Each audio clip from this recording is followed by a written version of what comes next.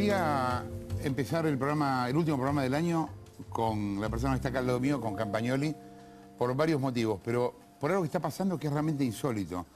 La reacción del gobierno con el allanamiento a Otesur, ¿te acordás que te lo venimos contando, no? La, la empresa, una de las tres empresas hoteleras de Cristina, desató un ataque del gobierno totalmente indiscriminado a un montón de gente, como si eso fuera a solucionar el problema de fondo, que es Otesur que no presentaba los balances, que no tiene clara la formación de su directorio, etcétera, y que es la empresa de la Presidenta de Argentina, no es un maxi kiosco acá a la vuelta en Constitución.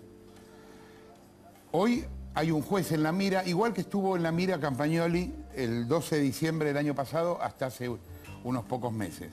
¿Por qué no investigaban a Campagnoli? Porque querían sacarlo por investigar. O sea, querían sacar a un fiscal que estaba haciendo su trabajo. ¿Qué es lo que cuestionan hoy de Bonadío? Que haya allanado, o sea, que sea un juez que hace su trabajo. ¿Cómo estás viendo todo este tema? Y con mucha preocupación, ¿no? La verdad que, que yo lo veo como que hay dos instancias, ¿no? Una que es lo que se puede sospechar, ¿no? Que si existe alguna sospecha de lavado, de cuestiones, lo que tiene que ver con la investigación. Pero hay algo que, para, que es muy preocupante y que si se confirma es gravísimo. Pero hay algo que para mí es más grave, como abiertamente se utiliza el poder del Estado para perseguir a alguien que de un día para el otro se transforma en el enemigo porque osó eh, meter sus narices en algo que tiene que ver con los poderosos. ¿no? E, e, ese, eso como si fuese muy natural. Eh, utilizar la, IGJ para ver si tenía una empresa o no, ver qué hacía en el año 94. Todas esas cuestiones son, es como que hay una eh, ley para los enemigos que se aplica con dureza, ¿no? Eso es lo que a mí me llama. Cuando, cuando viste lo que le está pasando ahora a Bonadío, eh, ¿pensaste en tu propio caso con lo que te pasó a vos? Sí, por supuesto. Eh, me parece que se están utilizando las mismas herramientas como si fuese una secuencia, una receta ya escrita para cómo hay que tratar a aquellos que se oponen o que hacen algo que les molesta. Y también me hace pensar que la situación de los fiscales es más endeble que la de los jueces, ¿no? Porque a mí me pudieron suspender cuatro votos contra tres. Ellos acá necesitan el Consejo de la Magistratura. Necesitan nueve votos de tres. Y aparentemente no los pueden tener. Aparentemente no. Bueno, hay, hay, una alternativa, que es que los sancionen tantas veces que finalmente por sanciones vaya a jury, Vaya a jury, sí, existe esa alternativa, pero bueno, me lleva también a pensar en mi caso y también a pensar que hoy en día la situación por la que yo atravesé eh, sigue exactamente igual. O sea, yo mañana puedo estar en la misma situación y cualquier fiscal... Vos seguís dependiendo de un plomazo de Gil Carbón. Cualquier fiscal que tenga que hacer una investigación o el fiscal que trabaja con Bonadío, yo le puede pasar algo similar. Y por lo que me cuentan, el proyecto que se quiere aprobar ahora en el Congreso le da todavía más poder a Gil Carbón. Sí, algo también muy llamativo, ¿no? Es un poder enorme que tiene la Procuración General que nadie controla porque nunca se creó la bicameral que tiene que existir para controlar al Ministerio Público Fiscal y, con esta situación tan endeble de los fiscales se le está dando más poder a quien no se sabe cómo se controla, ¿no? O sea, eh, realmente es algo preocupante. O sea, es que a mí me llamó mucho la atención esta semana la actitud del gobierno de difundir eh, la cantidad de gente que había tenido cuentas en Suiza. Porque sonaba un argumento de este tipo. Sí, nosotros robamos, pero ustedes también, ¿no? Y es patético, porque en el fondo lo que ellos tenían que hacer es defenderse de las imputaciones propias, no tratar de desacreditar a otros. Digo, por, mí que metan en cana los 4.000 que pusieron guita en Suiza, no me importa, no estoy diciendo eso. Digamos, me parece que como método de defensa es un método de defensa enfermo. Sí, es un método que parece perverso, ¿no? También porque es como utilizar, como decía, te decía recién, utilizar todo el poder del, Estado, para el aparato para difundir cuestiones justamente para su defensa, ¿no? Como si vos contratases un abogado y decidís a quiénes vas a demandar y a quiénes no. Bueno, acá parecería que se puede utilizar toda la, estructura estatal para defenderse y para perseguir a los enemigos, ¿no? Ahora, eh, es una batalla despareja, pero hay batallas que son todavía más desparejas. Este programa hay gente mirándolo que no tiene ninguna defensa si le hacen algo. Vos tuviste alguna defensa, yo tengo alguna defensa, estamos en un medio, vos en la justicia. Igual hubo un momento en el que yo pensaba que te iban a sacar, eh, vos también. Yo también, yo creo que fui muy afortunado, sobre todo por la reacción que tuvo la sociedad. Bueno, a eso iba. Eh, eh, ¿Qué hubo en tu caso que se agregó, me parece, al contexto? Hubo una opinión pública pidiendo por eso. Sí, a mí, a mí me parece que fue gravitante la reacción de la sociedad, la manifestación en las redes sociales, el apoyo de la gente que mostró su preocupación por uno de los poderes del Estado, que es el Poder Judicial, que tenga una justicia independiente, ¿no? ¿Pensás que... el Poder Judicial necesita apoyo de la gente frente a este tipo de atropellos? Yo creo que es muy importante que la gente se exprese y se manifieste y creo que en mi caso fue determinante la reacción de, la sociedad, las marchas que hubo, eh, la junta de firmas, mostraba una preocupación y también, por supuesto, el, periodismo que puso el tema eh, para que todos puedan discutirlos. ¿no? Me parece que esas son dos cosas que fueron muy importantes. Y creo también que fue muy importante el, hecho de, la persecución a los empleados míos. Me parece que eso fue algo que la gente dijo, ¿qué pasa acá? Están persiguiendo a chicos de 23 años por escribir un Twitter. Eh, me parece, eso fue increíble. Me parece que, eso, no dejó de pasar. Hubo denuncias de fiscales a Gil Carbó por haber intervenido los correos electrónicos de otras fiscalías, por haber intervenido los correos electrónicos. Sí, sí, sí, O sea que eso es algo que sigue pasando, digamos, no es algo nuevo, ¿no? Sí, a mí lo más preocupante es lo ¿Cómo hacemos para defendernos de esto? ¿Me entendés? ¿Cómo hacemos en la sociedad civil para defendernos de esto? En la práctica, porque el Estado tiene todo el poder. Los tipos te hacen las denuncias, eh, las empiezan a instruir, pueden joderte, después a lo mejor quedan en la nada. Yo creo que, lo, más grave es cuando las cosas aberrantes nos empiezan a resultar naturales. Creo que la sociedad tiene que resistirse a que sea natural que a un juez, porque hizo un allanamiento, se le empiece a, a poner el título de enemigo y a buscarle lo que porque, ¿qué pasa? Ahora lo buscan por enriquecimiento ilícito. Antes no. No, claro. se enriqueció ayer. o Stolbizer, por ejemplo. Eh, esas ridiculeces no nos pueden dejar vamos de asombrar. Vamos a un rato a la casa de Stolbizer. Mandamos una cámara ah, a la casa de Stolbizer. Vamos a ver cómo vive Stolbizer. Porque nosotros lo sabemos, porque la conocemos hace tiempo. Ahora, hace todavía más ridículo, más absurdo todo el planteo, ¿me entendés? Como la defensa es misiles contra fosforitos. Es una cosa muy fuerte. Bueno, que eso se haga abiertamente, de manera natural, como si el gobernante tuviese el poder de utilizar todos los recursos del Estado para defenderse en vez de defenderse en la causa judicial. O sea, hubo un allanamiento, estaba fundado, tenía la fecha, tenía el sello y la firma del juez, bueno, que lo revise la Cámara, para eso están los expedientes judiciales, ¿no? ¿Mm? Pero utilizar todo lo que tiene para... es como muy preocupante.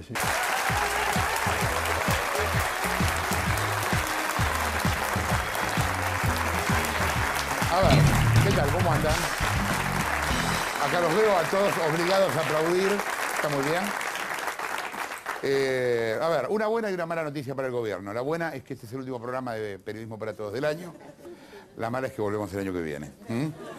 La denuncia que hicimos el otro día sobre Otesur, realmente no, no esperábamos que pasara las bestialidades que pasaron. En serio, ¿eh? Porque en el fondo lo que estábamos contando es que en la IGJ la Inspección General de Justicia, eh, a la empresa del presidente le faltaban balances y papeles. Es grave, pero no pensamos que la reacción del gobierno iba a ser tan desmedida.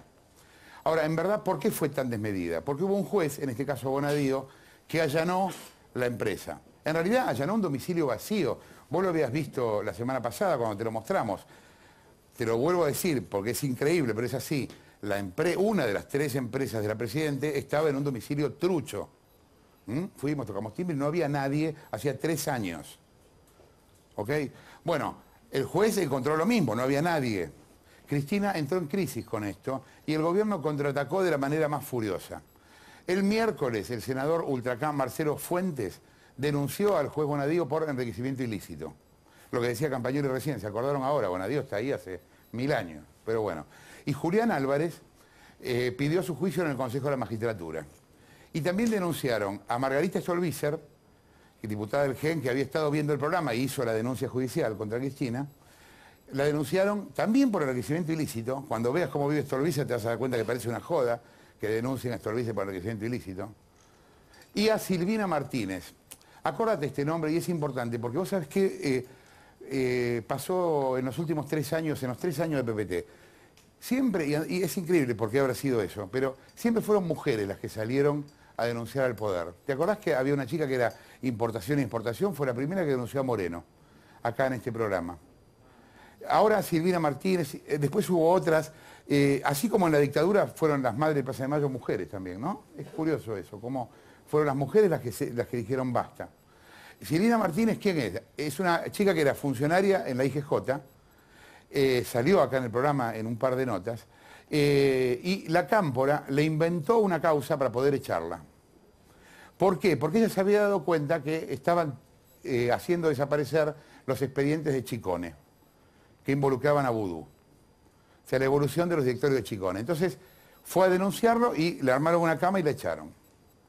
Yo creo que en realidad, en cambio de denunciarla con Silvina Martín, lo que habría que hacer es agradecerle que nos haya advertido a todos sobre lo que pasaba ahí adentro, no inventarle una causa. Es muy loco que cuando un funcionario cumple con su función, le pasa todo esto. Y es muy loco también, porque ¿cuál es el mensaje a ustedes que están del otro lado? Es, mejor no hago nada, porque me van a cagar. ¿No? ¿Para qué jugarme por algo que después me va a salir mal? Y eh, si pensamos así, estamos todos en un problema. A la vez, el gobierno dio a conocer, en el medio de todo esto, una lista de 4.040 cuentas negras en Suiza. Y dijeron que la situación de Otesur, de la empresa de Cristina, es la misma que decenas de miles de empresas que no presentaron los balances. A ver, si hay decenas de miles de empresas que no presentaron los balances, cierren la IGJ, porque no entiendo para qué carajo sirve, porque es el organismo que tiene que controlar los balances. No puede haber decenas de miles de empresas. Supongamos que las hay. La empresa esta es de la Presidente. No es lo mismo que un maxi kiosco acá en Constitución. Es la empresa de la Presidente. No puede no presentar el balance. Es así de simple.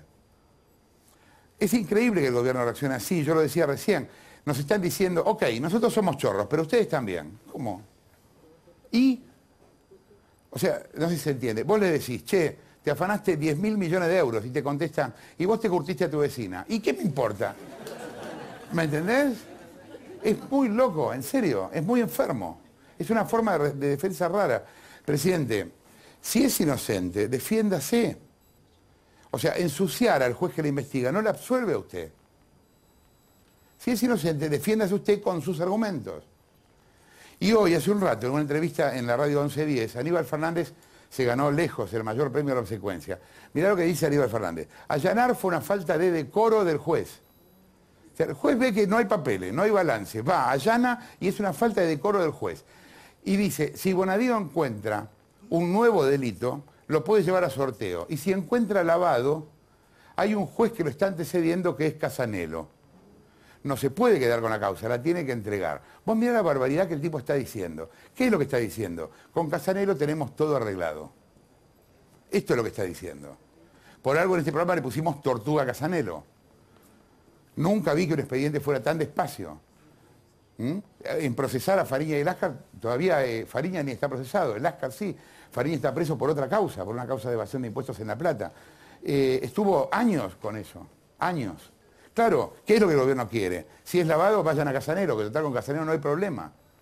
Ahora, ¿cómo le va a impedir a un juez allanar una empresa y va a decir que eso es una falta de decoro? Es increíble.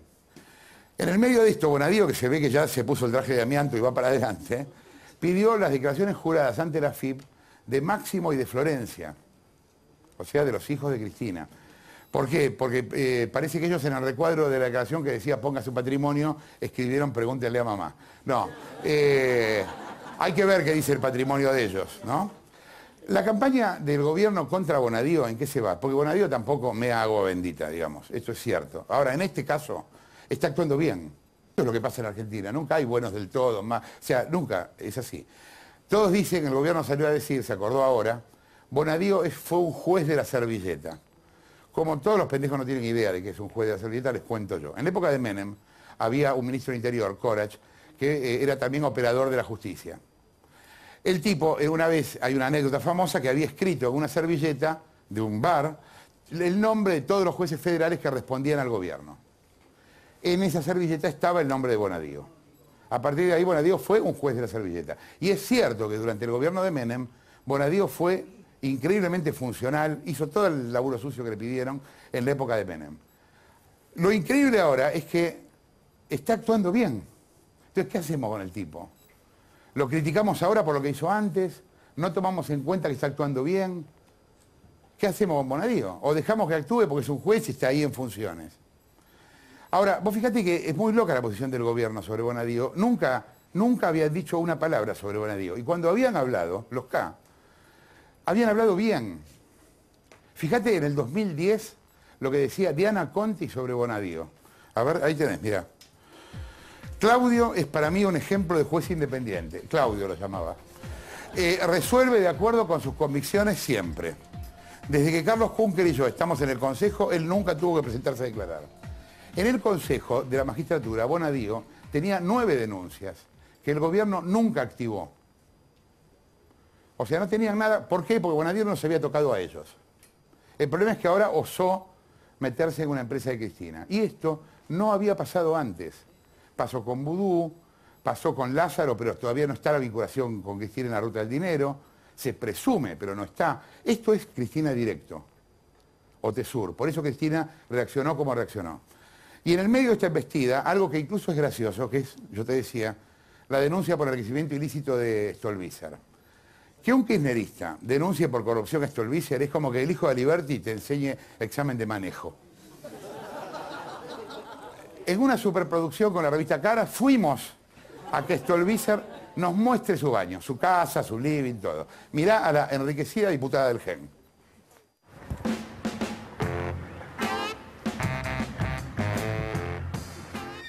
Margarita, Hola Rodrigo, ¿qué tal? ¿esta es tu casa? Esta es mi casa, desde hace muchos años. ¿Hace ¿eh? cuánto que vivís acá? Y acá vinimos a vivir cuando estaba embarazada de mi segundo hijo, que ya tiene 23, así que casi 24 años hace que vivo acá. ¿Cómo te cayó la denuncia de denunciaban por enriquecimiento ilícito, por una fortuna? Bueno, primero que me parece un absurdo, ¿no? Lo que ocurre es que uno tiene necesariamente que mirar qué es lo que hay atrás, cuál es la intencionalidad de ir a una denuncia tan absurda, tan ridícula, ¿no? Fui una abogada tan exitosa, eh, pero de hecho tengo un estudio jurídico, tengo mi título de abogada exhibido en el estudio y tengo casos y asuntos judiciales de los que he vivido, bueno, cuando me dedicaba de lleno a la profesión. Los lujos lindísimos, yo digo, tengo un mueble que es la herencia de mi mamá, la herencia de mis padres. Entonces los lujos para uno son un poco esas cosas, ¿no? Y adentro del mueble de mi mamá, las copas de la herencia, los platos de la herencia, las obras de arte son las que pinto yo. Ah, este, este todo detalle, sí. Este es el lugar de estar de la casa. Eh, Bueno, esta es mi cocina. Tratemos de no mirar demasiado el agujero del, del ¿Por, horno. ¿Por qué se la.? Ah, ¿no hay horno? El horno se quemó y se llevaron el horno para cambiar un repuesto, así que llevo más de 8 o 10 meses sin tener horno. ¿Cuántas veces te robaron estando viviendo Eh, acá en Castelar? Y muchas, muchas. Eh, alguna vez fue en la calle, como esa vez que me secuestraron y me llevaron por distintos lugares, otras veces han entrado a la casa y yo tenía un monederito de tela y sí tengo, el que tengo puesto y en mi monederito, los relojes que me regala Mirta Legrand. Ah, cuando fuiste Cuando voy, claro. Entonces yo uso los relojes que Mirta me regala, los voy variando y los tenía también guardaditos en mi monedero. Así que esas son las, las alhajas, digamos, las joyas que en su momento me llevaron. Lo más lindo que tiene mi patio es la parrilla. La parrilla. A la hipermillonaria Margarita Stolbizer. Es, es- es de un caradurismo increíble denunciar a, a Stolbizer por enriquecimiento porque un cadete de casa de gobierno por poco anda con una Ferrari y nadie le pregunta nada, ¿me entendés? Y denuncian por enriquecimiento a Stolbizer. Hablando de casas, ¿sabés quién debe las expensas del Country Aires de Pilar? Lázaro Báez. ¿Podés creer con la guita que tiene? En medio del escándalo de la ruta del dinero, la casa está a nombre de una empresa que se llama Badial S.A. y junto a un par de lotes ahí en el country debe 72 mil pesos de expensas. Mirá la factura. Ahí la tenés, ¿ves? Badial S.A., lote tanto. Eso es lo que eh, el socio de la Presidente debe. Yo le diría a Lázaro que le pida unos mangos Stolbizer, ¿no? Sí, podría ser. Bueno, esta semana el Papa fue a Turquía, lo saben. ¿En qué viajó el Papa? En avión de línea, en Alitalia. Tenemos una foto del Papa, ¿no? Ahí está, ¿ves? En Alitalia. Yo entiendo, el Papa no es un tipo importante, como Kisilov o Timerman, que viajaron a Australia en un avión privado y que costó 600 mil dólares. Pero es cierto, Kisilov es mucho más que el Papa. Axel, viaja normal. No alquiles aviones de 600 lucas verdes. Y no diga que lo haces para estirar las piernas, porque me dice un metro y medio, hermano. O sea, no tenés nada para estirar. ¿Me entendés? Si, el Papa viaja en línea, que la mama no se haga llevar diarios en un avión privado a Calafate. que es lo que hace la mama todo el tiempo.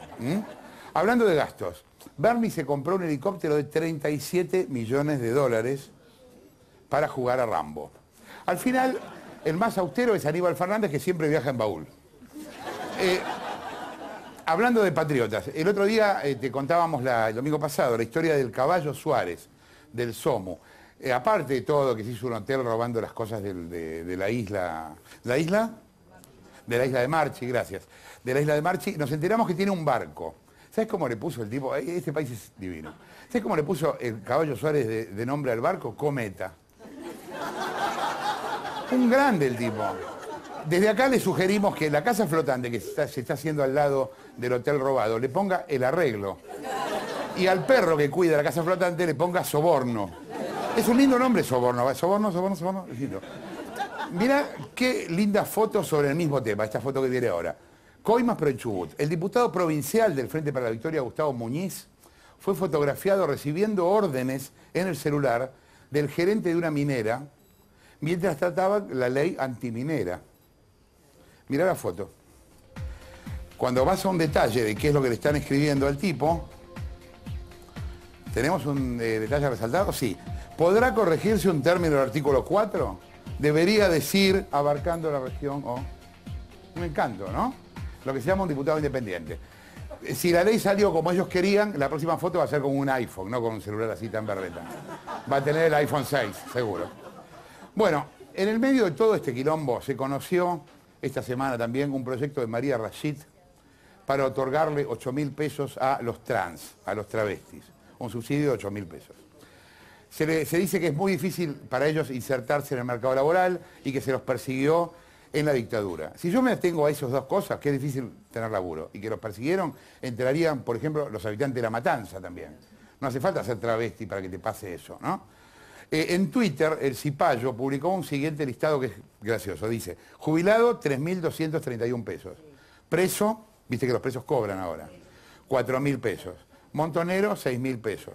Travesti, 8.000 pesos. Travesti preso, 12.000 pesos. Travesti preso montonero, 18.000 pesos. Bueno. No, ojo que es un chiste y nadie, ¿eh? No quiero otro juicio. El otro día, cuando yo contaba lo de los presos, ¿te acordás que lo, lo hablamos el otro domingo? Yo les sugería a los jubilados que salgan a robar. Porque les conviene mucho más. Son cuatro lucas, ellos ganan tres. Abuelo, salga de caño. ¿eh? Ahora, yo le voy a dar otro consejo, Abu. Póngase gomas. Oh, no mucha, como una gomita. ¿eh?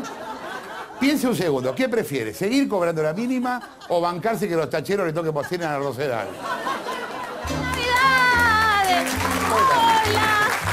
¿Cómo va? ¿Cómo va la. ¿Viste? ¿Pero viste que se acercan las fiestas? Sí. Y bueno, ¿y esto para Viñasque? Viñasque, ¿dónde estás? Foca. Es para que lo jueguen Ah, la para la foca, claro. Acá, Tomás. Ahí está. Cuidado, mataste a uno. Yo traje regalo para todos. Ah, ¿qué trajiste? Y todas. ¿Sí? Esto es para, sí, esto es para Lu, Luciana, ¿viste que le pide el bebé? Ajá, ah, mira sí, qué lindo. acá tenemos todo. De Néstor y Cristina. Chávez. Que una vez medio caos, o sea que lo puede agarrar. A ver, ¿dónde El está? bebé feliz. Y este para Rodri. ¿Para Rodrigo Alegre? Sí, Rodri. El pan dulce. ¿Qué? Ay, sí, lo noté porque no sabes, el otro día en la fiesta del fin de año no me paraba de hablar del pan dulce. El pan dulce, No, el pan te- dulce, el pan dulce. ¡Y Rodri, el pan dulce! Es que era otro pan. dulce. No, no Ay, no pero sé. lo, lo último, pero lo más Sí. importante ¿Qué? para vos, ¿qué? Jorge. Un voucher ¿Un voucher de qué? para que canses y para que atiendan bien. Ajá. Es No te entendí un carajo lo que me dijiste, pero no importa. para que descanses Ah, para que atiendan bien. atienden, Ahí está, sí. Y incluye spa, masajes y lavado de activo. Aunque Ah. vos no sos muy activo, Jorge. Bueno. Pero en cualquier hotel de Otesor. Ah, Así que feliz Navidad. gracias. Te agradezco. Ah, bueno. ¿Qué pasó? Lu, a regalarlo. Llévalo, llévalo. Chao. Chao. Bueno, en un, en un nuevo ejemplo de pluralismo y de, y de libertad de prensa, la Cámpora propuso en la provincia, a través de la diputada Rocío Giacone, escucha esto, que sea obligatorio ver la TV pública en todas las oficinas del Estado. De ahora en más, si es que lo aprueban. Y si alguien pone TN, ¿qué pasa? Llega SWAT y los cagan a tiros. Viene Bernie con el helicóptero de 37 palos.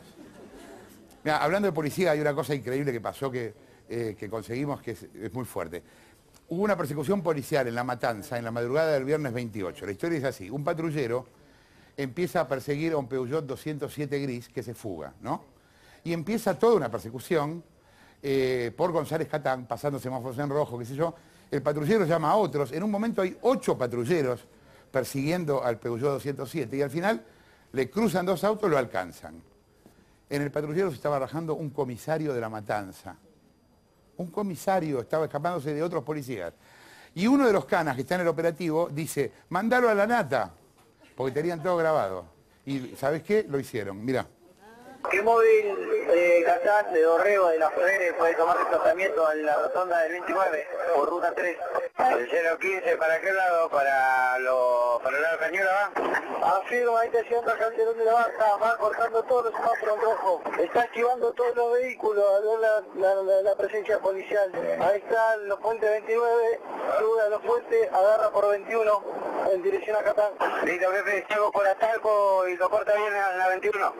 Afirma, afirma, estoy detrás del mismo, no acata la orden policial, los fines identificatorios. Agarró 21, pasa por el frente de la 180, sigue cortando semáforos rojos, sigue cortando semáforos rojos. ¿Qué otro móvil? ¿Qué otro móvil para el cruzamiento? Móvil de Catán de Guerrero. Ruta 21 a la altura de la 180, mano hacia Pontevedra, hacia Catán. Está por pasar la, la estación de servicio, está por pasar a Talco. Bueno, cliente se va desplazando. ¿Para dónde viene? Yo estoy con la estación de Catán. Llegando a Talco, acelera, se me da la fuga, llegando a Talco, a Talco y 21, pasó la estación de servicio. Estamos los móviles esperando a Gonzalo Abriel. Ahí está, está, cortale, cortale ahí, cortale ahí, cortale ahí, cortale ahí. Valle, Comando Sur. Está bien, era el comisario, comisario inspector de Daniel Franco, Valle, Daniel Franco. Tengo ocho móviles acá en el lugar. Está bien.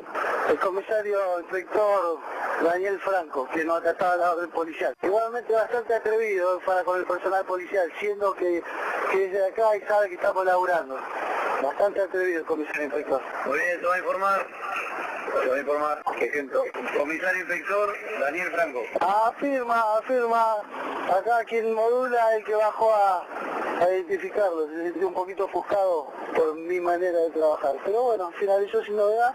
Libramos el lugar. Se agradece a todos los móviles que bajaron. Bajalo, mesa, bajalo. Bien, ¿en qué QTH comienza la persecución, señor? ¿Y dónde termina? Y ahí en el kilómetro 24 y finaliza acá en Cepeda, Cepeda y, y 21 de Cacao. Finaliza gracias a los móviles que lo cortan de frente, si no, no paraba tampoco. Para la comisaría. Principal, bajalo, Priti, bájalo. Señor, haga su trabajo. Obvio, está por laburando. Si se siente molesto, sabe cómo se trabaja en Matanza. Igual paró porque le cortaron de frente los móviles nada más. Revisalo, algo debe tener. Mandale la nata. Bueno, terminado, terminado. Bueno. Eh, gracias por pensar en nosotros, al que, al que lo mandó. No es normal que nosotros tengamos audio de la banda policial. Yo sé que eh, para nosotros decir esto es terrible porque nos está quitando una fuente, pero no puede ser que sean tan tarados los policías. La banda policial no tiene que po- poder ser escuchada por un particular y esto es lo que estamos haciendo nosotros. O sea, es una locura, pero bueno. El comisario que se daba la fuga es de la misma seccional que fue descabezada después de nuestra denuncia el domingo pasado, cuando te contábamos que alquilaban a los patrulleros para hacer acto de presencia, patrulleros que no andaban. Bueno, es de la misma comisaría. Bueno, como ya casi termina el año y ella es especialista en vaticinios, le pedimos a Lilita Carrió que nos dé sus predicciones 2015, como una Ludovica Esquirru política. Ahí la tenés, a ver.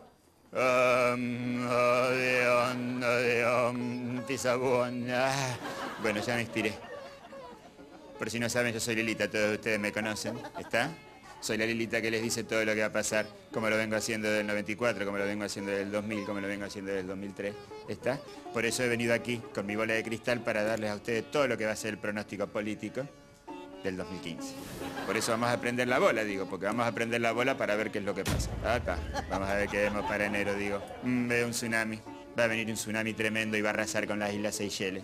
¿Me siguen? Va a arrasar con todas las Islas Seychelles y por supuesto los Kerner van a perder toda su fortuna. ¿Está? Por eso van a tratar de recuperarla en lo que les queda del año. ¿Qué veo? ¿Qué veo? Veo que en febrero, en febrero, en febrero Randazzo va a anunciar una nueva renovación del documento nacional de identidad para todos los argentinos. Pero esto lo van a hacer porque nos van a meter de segundo apellido a todos carne. No lo vamos a permitir. Se viene tiempo durísimo, pero no importa, porque después va a venir octubre. ¿Eh? Y en octubre, ¿qué va a pasar? Bueno, Martín Insaurralde, estoy viendo claramente, se va a separar de Jessica Sirio. Se va a separar de Jessica Sirio y se va a poner de novio con Zulma Lobato a ver si es un poco más popular. Estos son los manotazos ahogados del kernerismo, digo, porque saben que van a perder las elecciones. Y las van a perder contra Macri y yo. ¿Y saben qué va a pasar cuando ganemos las elecciones Macri y yo? Miren, ahí va, está clarísimo. Esto lo... Epa, epa, se cortó la luz, digo, bueno. Yo responsabilizo esto al ministro Debido, digo, esto es una cosa de Debido, ¿está? Estos son los cortes de diciembre que están llegando un mes antes, ¿eh? Están llegando en noviembre, pero no importa. A mí no me van a callar ni aunque me corten la luz. ¿Saben qué? Voy a buscar una vela y vamos a ver si quién, quién sigue haciendo pronóstico.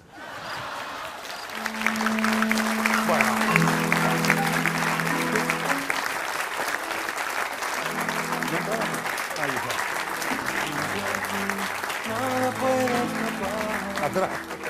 ¿Qué haces? ¿Qué pasa? Jorge, Sí. todo concluye al fin. Todo concluye al fin. Sí. Todo termina, Jorge. Pensé que iban a pasar nuestros mejores momentos, pero no encontraron nada. No. Este es, el programa, es, es lo peor del año. Lo peor del año, podríamos pasar todos los capítulos enteros, Jorge. Sí. Estuve evaluando tu parte médico Ah, de este ¿y año. ¿Cómo estoy? De puta madre. Hecho mierda, Jorge. No, no, calentón, un poco calentón Sí. estuviste, así que vas a empezar yoga. No, no, es un embole. No hoy, no hoy porque verte en calza te juro que sería tremendo. De cabeza y en calza, Jorge, mirá, estarías así, para que veas. Ahí estoy, mirá. Muy hermoso, Jorge. Gracias. Después el tema cigarrillo, Sí. bien, mejor, mejor que el año pasado. Largaste ese de plástico que fumabas. Y ahora fumo tabaco puro, derecho. Ah, bueno, estás está, peor de lo que pensé. Con Bueno. el de tabaco, con ese de plástico, parecías Kenny tocando el clarinete, Jorge. Ahí estás, mirá qué lindo se te Ah, ve. mira qué lindo. Y después el tema del peso, Estoy un poco puto en esa foto, ¿no? Sí, Bueno, con la ropa que usás también, no te preocupes. Ah, bueno, gracias. Escúchame, Sí. eh, adelgazaste, aumentaste, Adelgazaste, aumentaste, aumentaste, aumentaste, A vos no te pasa porque no creces nunca, así que callate la boca. No, y yo engordo siempre, así que Jorge, hay que mantener una línea, ¿eh? aunque sea alta, pero nada de subir y bajar, porque después el cuerpo no, no te lo recibe. Y por último, Jorge, Sí. toma, ¿Qué es esto? esto, ¿viste el baby call? Sí. Bueno, medical trainer call, Te llamo por acá. vos si apretás, apretás una vez, mira, apretá. Sí. No fume, Jorge, estoy mirando. apretá de nuevo, Jorge. Pegó la 5 de No, pedo. no, de pedo. pedo, El de último pedo. programa lo, vamos a, meter. Jorge. A ver. A ver si lo veo. Otro. Jorge. Muy bien, muy bien. Jorge, deja de trabajar que estás de vacaciones. ¿Escuchás? Y uno más tenemos. Jorge, no comas eso que no voy a cortar mis vacaciones por vos, ¿querés? Estoy toda la tarde grabando, Jorge, los tenías que meter a los tres, si no yo me, me deprimía. Eh, gracias, Jorge. A vos. Y. Te veo el año que bueno, No, no arreglé con Suar todavía, así que yo no sé. ¿eh?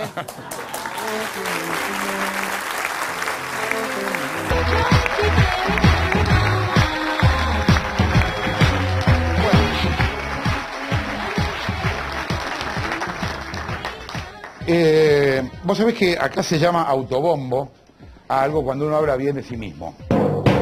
O sea, este va a ser un programa de autobombo. No, pero quería armar un programa con esto porque desde el aparato de propaganda del gobierno muchas veces se dice no tienen pruebas, todo lo que dicen es mentira, siempre, nunca pasa nada, etcétera. Como si fuéramos nosotros los que tenemos que ir a meter en cana a los tipos. Nosotros lo que hacemos es contar lo que está pasando y después es la justicia la que tiene que actuar. Pero quería que vieras cómo muchas de las cosas que dijimos este año se fueron cumpliendo en la realidad y hoy forman parte del panorama político. El domingo 29 de noviembre revelamos que Otesur, la empresa hotelera de Cristina, dueña del hotel Alto Calafate, es una empresa trucha que no tiene los balances presentados, que no estaba actualizada ante la Inspección General de Justicia y que tiene una sede fantasma.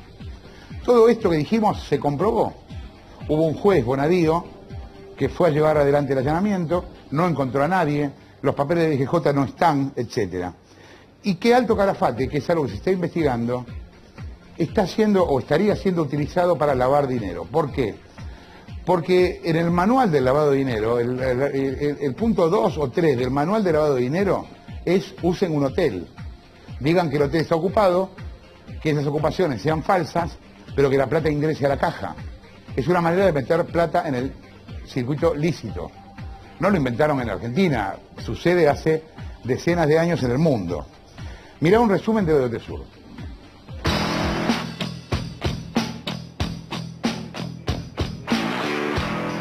Jueves 5 y media de la tarde estamos llegando al Calafate, el lugar en el mundo de la presidenta Cristina Fernández.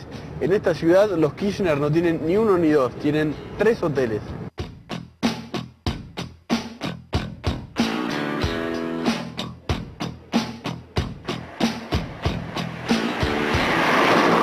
Avenida Los Gauchos 1352, El Calafate, este es Los Sauces, el Hotel Boutique de la Presidenta. Al lado está su casa. El complejo está compuesto de cinco casas patagónicas, cinco estrellas, con habitaciones muy grandes, spa, jardines. Eh, una habitación doble de 90 metros cuadrados cuesta por noche 4.680 pesos.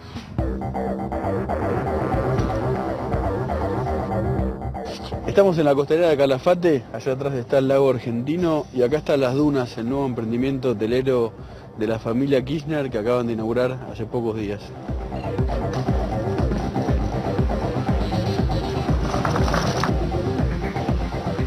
Este es el restaurante que se llama El Coirón. También con vista al lago argentino. No parece haber mucha gente, yo creo que está vacío. Hoy nos vamos a quedar acá.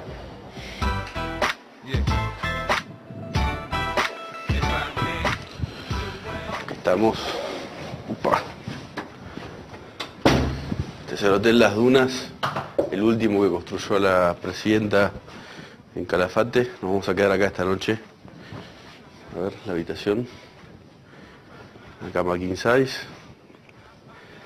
Sillones, plasma. Acá. Acá está el frigobar mira el agua mineral que le gusta, importada, que le gusta a Cristina.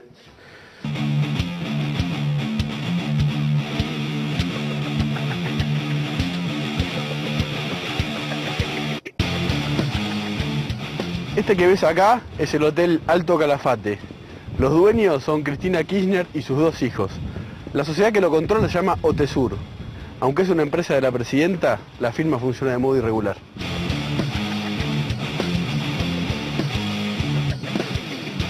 Las sociedades, una sociedad anónima cualquier tipo de sociedad comercial, lo que tiene que es eh, inscribir cada cambio que realice, cada cambio de autoridades, eh, eh, cada cambio de sede, eso es para que los terceros lo puedan conocer.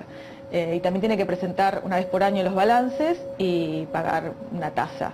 ¿Y qué pasa si no cumple con esas obligaciones? Si no cumple, la IGJ intima primero, eh, después sanciona y en el caso de eh, las tasas que no se no paguen, eh, tiene que ejecutar, porque hay una presunción de, de, inactividad de una empresa. Si ya pasaron varios ejercicios que no presentaron los balances, no inscriben las autoridades, no informa si cambió la sede, para la IGJ o para cualquier organismo del Estado es una sociedad que, que no existe, que está muerta. O sea que está funcionando de manera irregular. Totalmente. Está funcionando de manera irregular. Totalmente. Cualquier manual más simple en el mundo dice que la forma más común de lavado de dinero son los hoteles. Entonces me parece que hay que poner especialmente la atención sobre estas cuestiones en una sociedad además que ha dejado demasiadas dudas sobre su funcionamiento.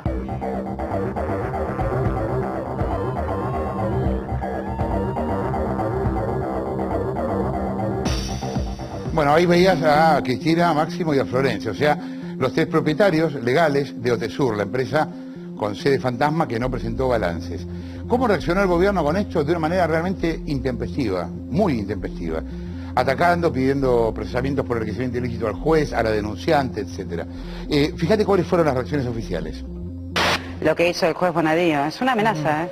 Es una amenaza después. Sí, sí, sí, es una amenaza en lugar de un oficio hizo un allanamiento transmitido online por los dos principales medios opositores. Una instalación mediática, alevosamente pergeniada y articulada desde el arco opositor. Digo, estamos hablando de algo que no tendría ni por qué ser noticia, de una cuestión burocrática y no de un, de un delito para nada. Tiene una pata comunicacional de ataque despiadado y la espectacularidad con que los medios, y los medios opositores obviamente, tomaron esa noticia. Sí, sí, es casi una, es, es, es un apriete. Claro, eh, está atacando la investidura de la Presidenta de la Nación. Eh, un ataque sistemático al gobierno nacional eh, por denuncias falsas, falsas, falsas, falsas, falsas. A ver, vamos a ir con todos los temas haciendo esta mecánica. Vamos a ver la denuncia nuestra, la reacción del gobierno y después la reacción del aparato de propaganda. Yo te voy a leer un montón de tweets puteándome a mí, que fueron eh, en su momento dicho, eh, se dieron o, o en- el aire, en aquel momento o se están dando en este momento. Mira, con esto de Otesur, ¿qué dijeron, por ejemplo, en Twitter? Uno que eh, un eh, eh, hashtag que era el favorito de Chris. La Nata sigue con el tema de Otesur, a pesar de que lo desmintieron los de Otesur con un comunicado. Es interesante ver esto por lo siguiente.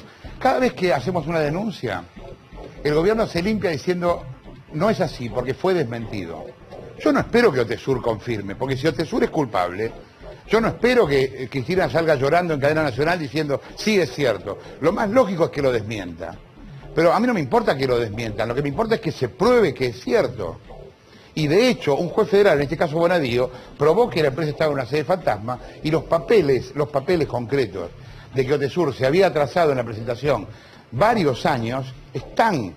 Entonces, por más que ellos desmientan, ¿qué me importa que desmientan? Es lógico que van a desmentir.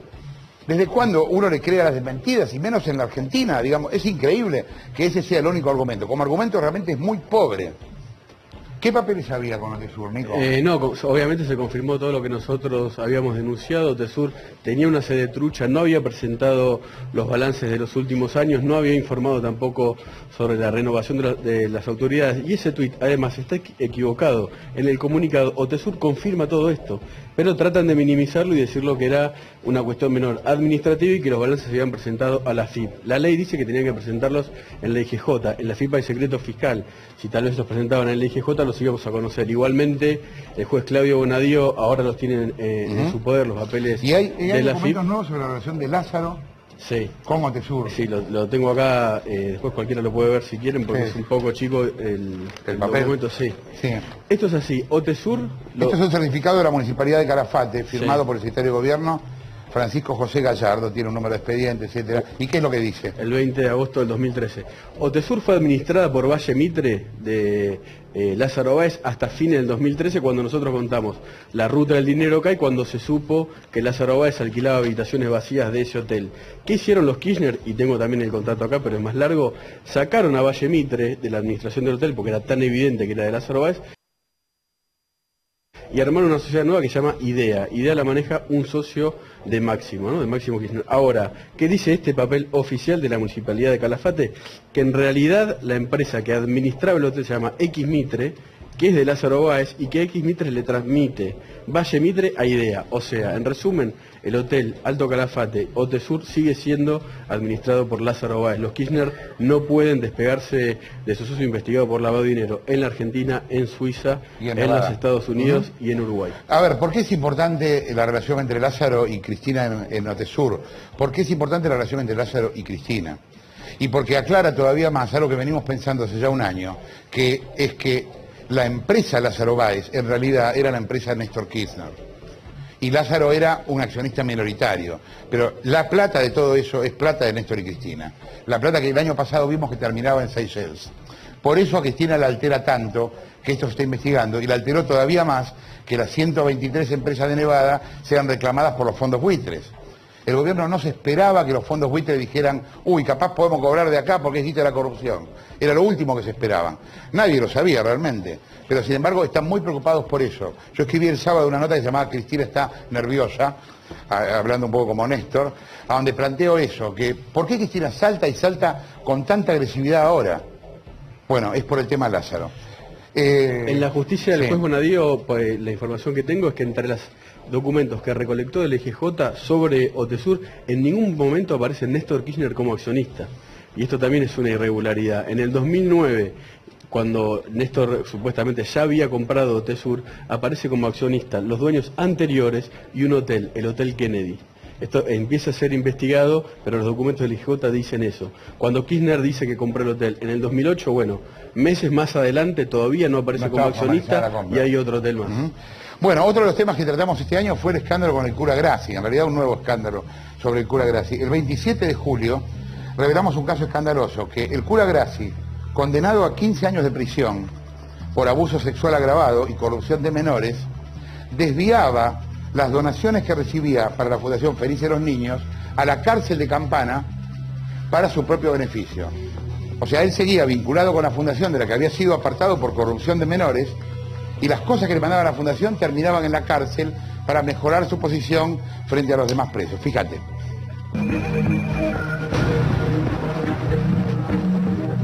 Este es Julio César Grassi, hoy en la cárcel.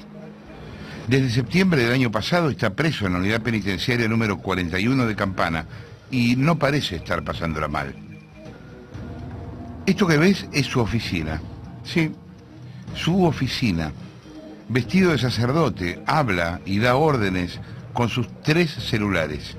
Hoy la administra Grassi desde la cárcel valiéndose de instrumentos para él, porque yo creo que los usa como instrumentos, de un grupo de 10 o 15 personas, que son personas de su máxima confianza. ¿Qué sucede con los alimentos que llegan a la fundación? Y muchas veces desaparecen. Yo empecé a descubrir que muchas de las mercaderías, muchas cosas que ingresaban a Felices los Niños, que eran donadas para Felices los Niños, eh, se derivaban muchas de estas a la cárcel. ¿A qué cárcel? A Campana, donde está él. Uno de los últimos casos, habían llegado dos camiones grandes con donaciones que entraron todo en la parte de despensa. Yo fui testigo porque vi entrar los camiones y vi que descargaban todas las cosas. Y al otro día no había más nada. Y resultó ser que se había ido todo a Campana, a la cárcel. Durante tres meses, de día y de noche, grabamos los cuatro vehículos que recogen, compran y transportan donaciones y mercadería. El día clave del operativo fue el 25 de junio, en pleno Mundial de Fútbol. Ese mediodía, mientras todo el país miraba el partido entre Nigeria y Argentina, los empleados de Graci aprovecharon para trasladar una gigantesca compra de alimentos de la fundación a la cárcel. Mirá todo el camino. Una de las camionetas de la fundación sale por la puerta principal del predio. Toma el camino del Buen Aire y se dirige hacia el banco de alimentos en Munro. Durante 40 minutos cargan las cajas de alimentos para la fundación.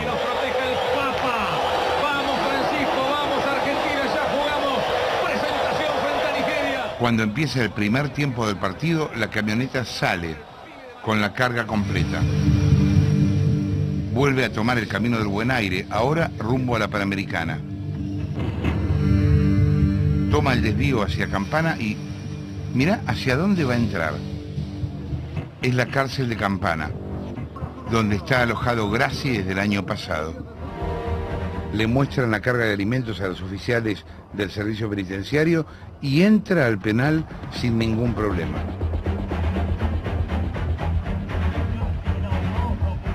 El desvío de comida hacia la cárcel es tan común que los presos de Campana lo celebran. Por Graci que dona un par de cosas, que no te dan nada. A veces dona paquetes de fideos, salchichas y esas cosas.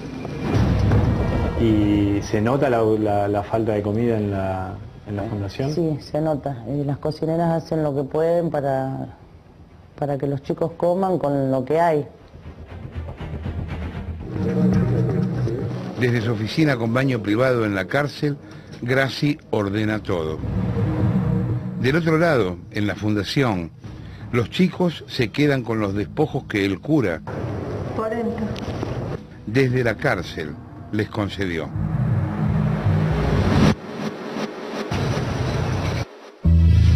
Bueno, en ese momento para defenderlo a Graci, es increíble, pero hay gente que todavía defiende a Graci, la esposa de Raúl Portal en Twitter dijo, arroba Lulu Portal, cada día estoy más segura que quieren quedarse con la fundación y sus 62 hectáreas, y para eso necesitan difamar.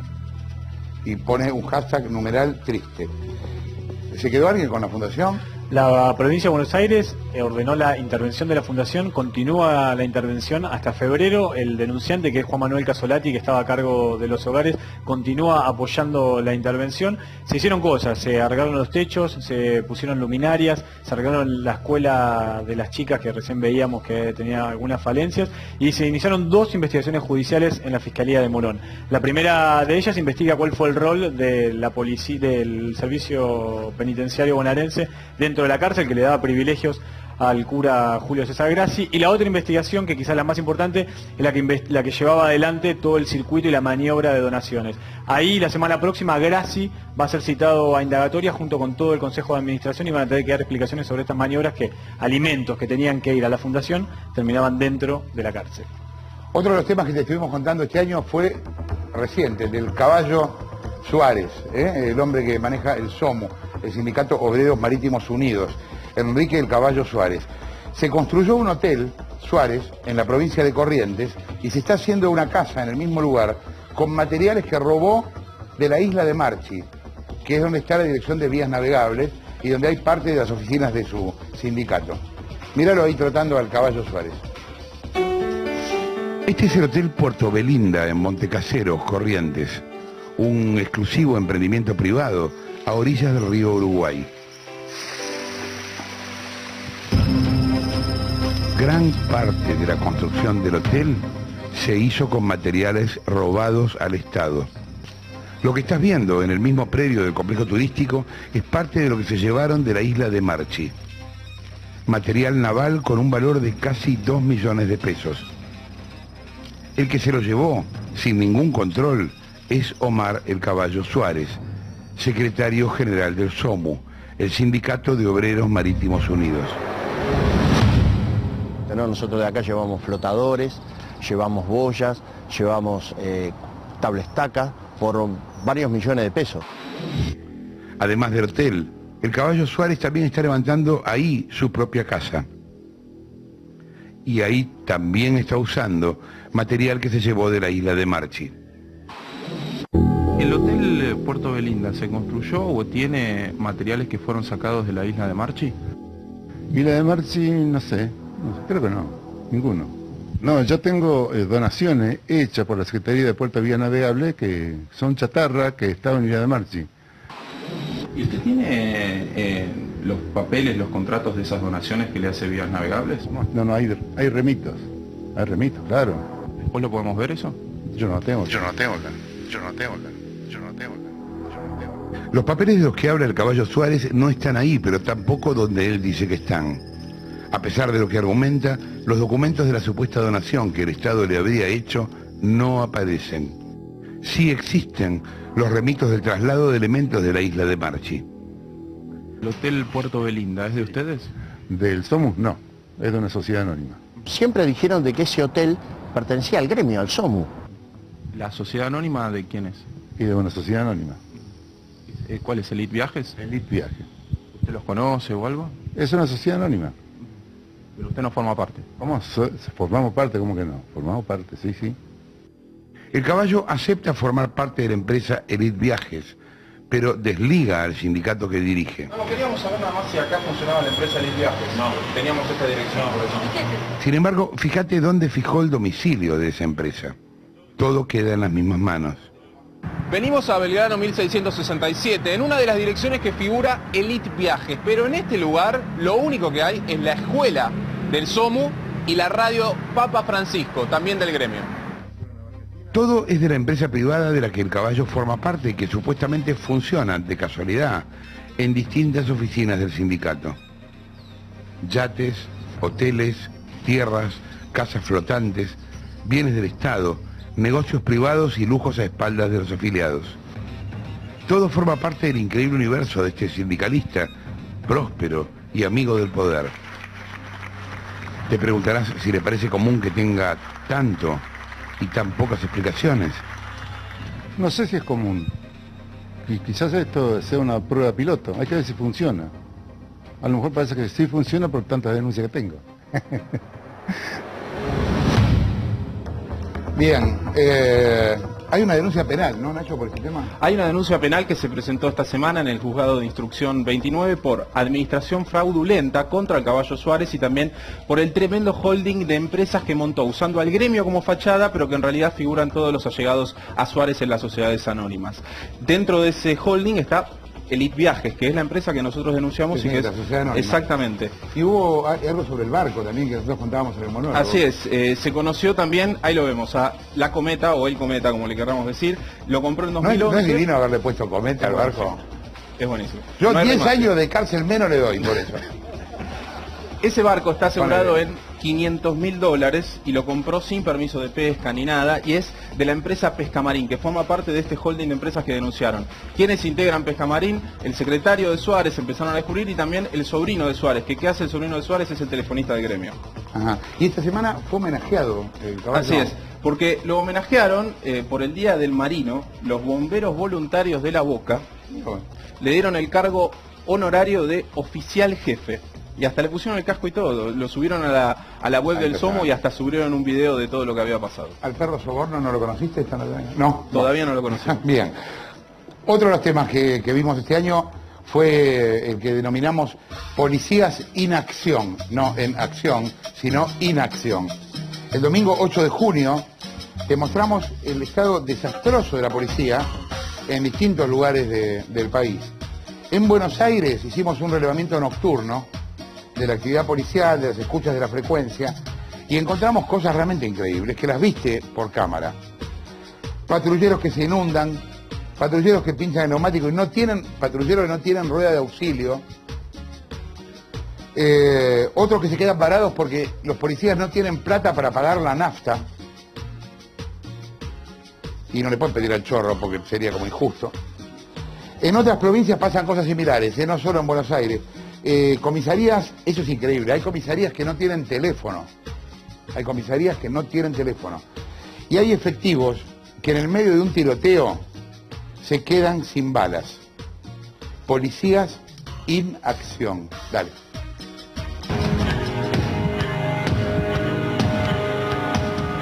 Comando, comando 33. Bueno, le informo, nos quedamos civiles acá en Luján al 2500. Copió 911. Sí, copiado Guachelas. Hola, buenas noches. Quedamos sin nafta. No te escucho, discúlpame. Quedamos sin nafta. Estamos sin combustible, pero no lo buscar. ¿Sin combustible se quedaron? Sí. ¿Es la primera vez que les pasa? No, bueno, es normal. ¿Es normal? Normal. Y bueno, no ¿Y pero cada cuánto se quedan sin nafta? Y eso cuando, eso no es que toda la guardia, casi toda la guardia siempre te, te quedas.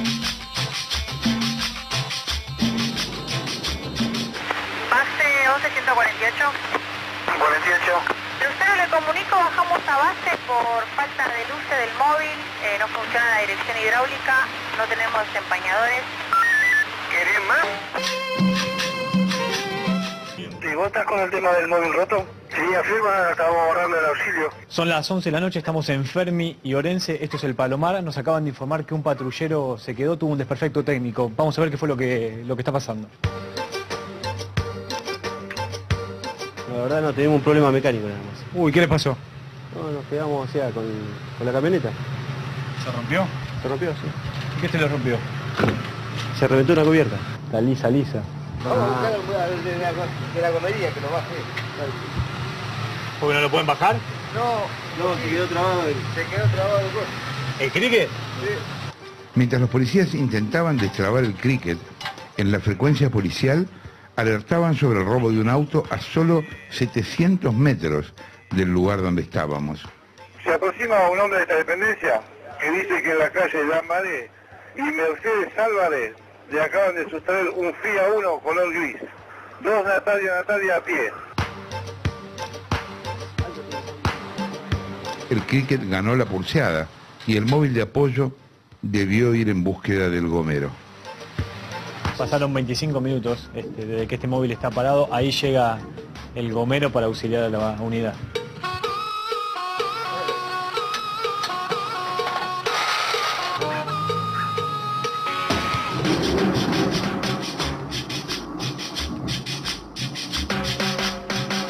¿Qué móvil está cerca de Márquez 3558 entre Varadero y Tierra del Fuego? Corre. Sí, Te informo, me voy a poner a resguardo. Se me está inundando el móvil. Coca, copiado. Eh, señora, eh, lo mismo para el 29, eh, estamos con el hilo roto. Lo mismo para el 18. Bueno. Sí, creo que lo mismo para todos. Hace media hora que estoy abajo de un techo ya. El 833 igual. 15 lo mismo, comando. El 815. 424 misma novedad, vidrio roto.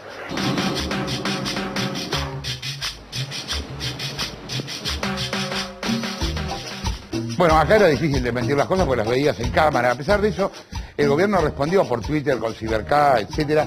Por ejemplo, uno que se llama arroba Lucas Amarín dice, policía sin acción, la rata, la rata soy yo. Eh, te digo la verdad, das gracia a pesar de tus mentiras. No entiendo dónde estaban para el gobierno las mentiras, ¿no? Otro, eh, arroba FDD10, dice, la semana que viene en Masterchef van a hacer gorila a la parrilla. ¿Cuál de las lacras que ven PPT oficial se ofrece? Un encanto. Otra cosa que te contamos de la policía fue más reciente, patrullero se alquila. O sea, patrulleros que no andan, que son alquilados por empresas privadas como escenografía. ¿Para qué? Para que sirva para disuadir a los chorros. El chorro, entre ir a un lugar donde hay un patrullero parado y donde no hay, va al que no hay. Bueno, esto hay que reconocer que el gobierno de la provincia reaccionó bien, porque el domingo pasado hicimos la denuncia y el lunes apartaron a siete u ocho comisarios, uno de ellos titular de zona, ¿no? Eh, esto pasa en distintas zonas de Gran Buenos Aires, los llamábamos los espantachorros, ¿no? Míralo.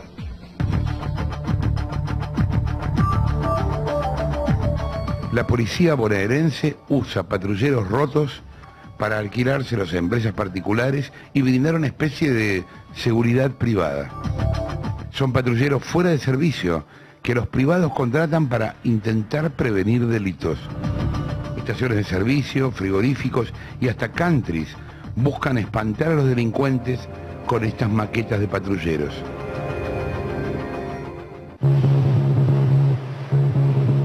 En Moreno, sobre la ruta 25, este emprendimiento inmobiliario tiene puertas adentro no solo un patrullero, sino también una moto policial para custodiar el obrador. El vehículo no, no, no funciona, no anda, nada. ¿Hace cuánto que está ahí? Un par de meses. Es un vehículo, es muleto ese porque no, no, no, no funciona. ¿Y por qué lo dejan ahí entonces? ¿Quién lo puso? Lo trajo la policía. Hemos tenido distintas in- eh, eh, intenciones de usurpación. A pocos kilómetros de ahí, sobre el acceso oeste, otro patrullero alquilado está desde hace más de un año en la parte de carga y descarga del frigorífico.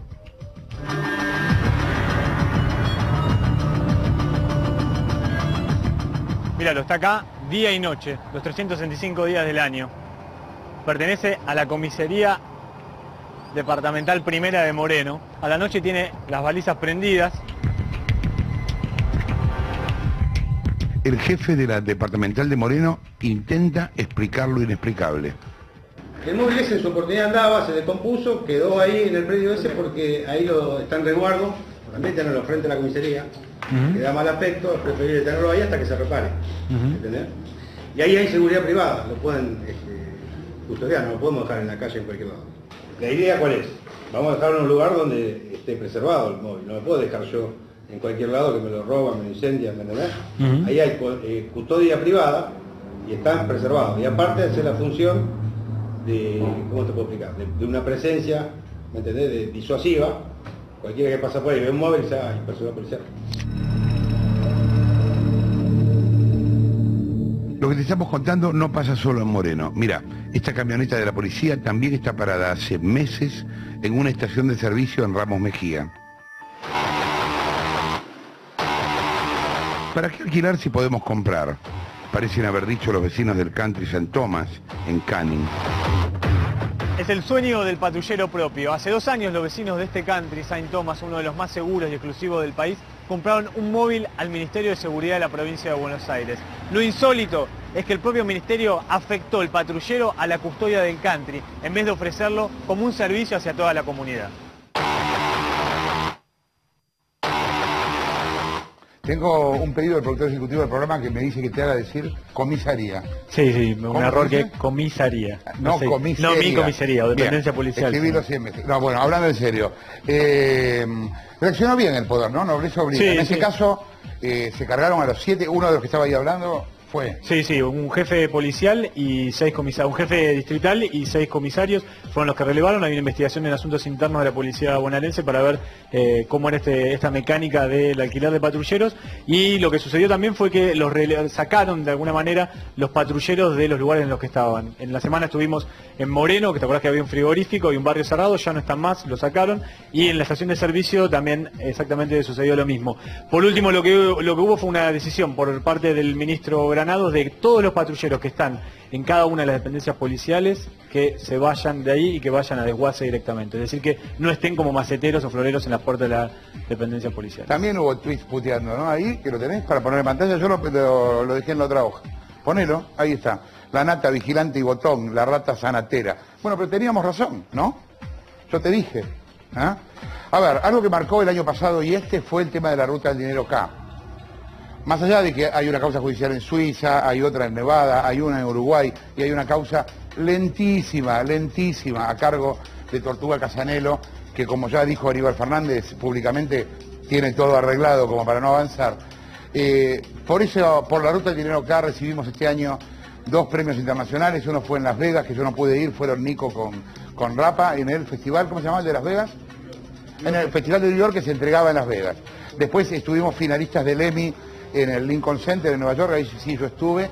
Eh, y el tema sigue, porque es, por lo menos en, mi opinión, uno de los temas más fuertes que se revelaron en los últimos años. Porque implica, es muy cercano al propio gobierno y es una operación de lavado de dinero gigantesca. ¿En qué está esa historia, Mariel? Bueno, mira, analicemos un poco por países. En Argentina, en mayo, Castanelo procesó a Fariña y a Lascar sin prisión preventiva. En realidad, Fariña, vos sabés que está preso por otra causa, que es por causa de evasión. impuestos, de evasión. Exactamente, por la compra de un campo en Mendoza, una operación sospechosa también. Y procesó a dos empresarios que son Carlos Molinari y Roberto Erusalinsky.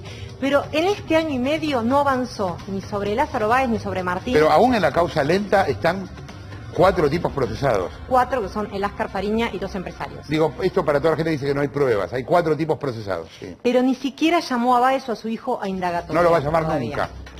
Porque Eh, si llama a Báez, tiene que llamar a Cristina. El problema que hay con esto, y que no empezó ahora, empezó cuando eh, eh, fue el, el quilombo con Marijuán, es que no pueden vincular a Báez con la causa, porque de Báez a Cristina hay cinco minutos. Y no van a llamar a Báez. O- ojalá lo llamaran. Bueno, hasta ahora no dio señales en ese sentido. También en agosto cerró la causa, ¿te acordás? Por la existencia de la boda en el subsuelo de la casa de Báez en Río Gallegos. Sí. O sea que eso ya no se avanzó. Y sí envió exhortos a Suiza, a Panamá, a Belice y Uruguay, sin demasiado éxito, excepto en el caso de Uruguay, que sí envió información que puede ser relevante. En Nevada, en Estados Unidos, bueno, ya esto venimos hablando varios programas. Eh, hay un fondo que es NML, un fondo buitre, que hizo una presentación para conocer información sobre estas 123 empresas que según la investigación de Campagnoli eh, se quedaron en Nevada y por ahí pasó la ruta del dinero que están vinculadas a Baez. ¿Cómo es que lo piensan los tipos? ¿Por qué aparecen acá los fondos buitres? Que tampoco son manera huerfanita ni mucho menos. Son una banda de hijos de puta. Pero ¿qué es lo que pasa? Eh, eh, Argentina le debe plata a los fondos. Los fondos, y Argentina les dice no tengo para pagarles. Los fondos buitres dicen, ¿cómo? Miren, en esta ruta de dinero, que es plata de la corrupción, o sea, que era plata del Estado argentino, podrían usarla para pagarnos a nosotros. Y a partir de ahí es que ellos se meten en la investigación. Sí, como estas empresas fueron creadas por un estudio panameño, que fue Mosaki Fonseca, que te acordás que fuimos, fue en Sí, en Panamá, lo buscamos también en Seychelles y en Uruguay, ellos le pidieron a este estudio panameño que diga quiénes son los clientes, quién los contrató para abrir esa empresa, si es Baez u otro.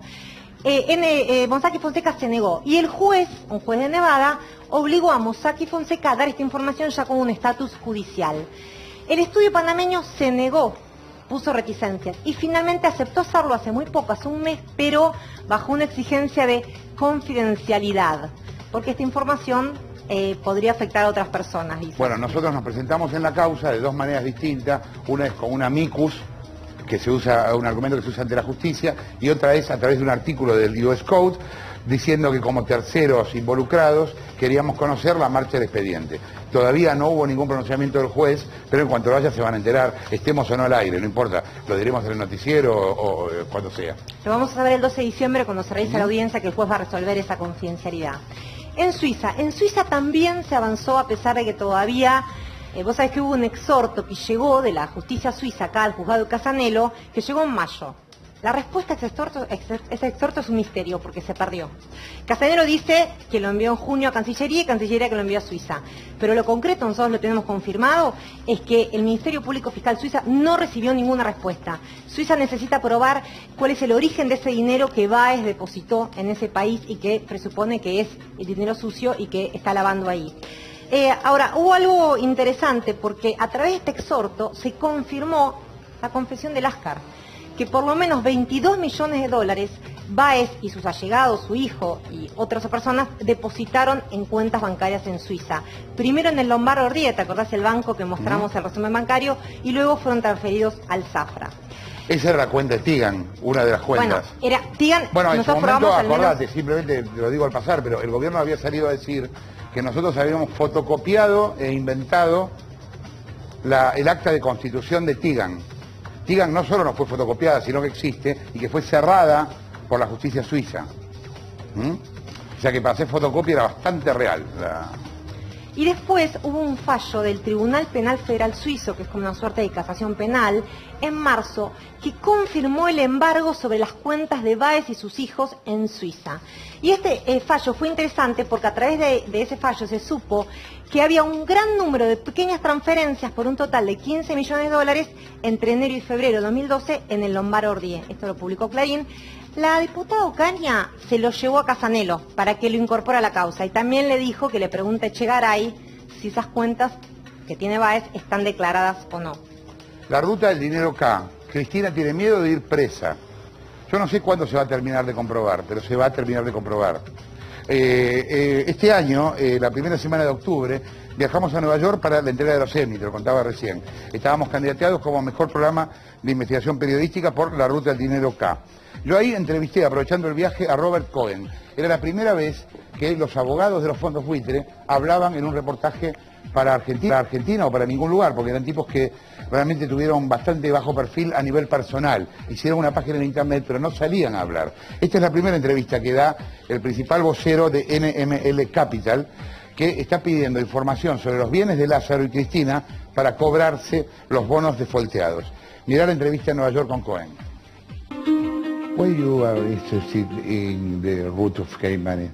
In our experience in uh, helping investors uh, recover debt against sovereigns, we have found that it is often the case that where we find corruption, we find serious money.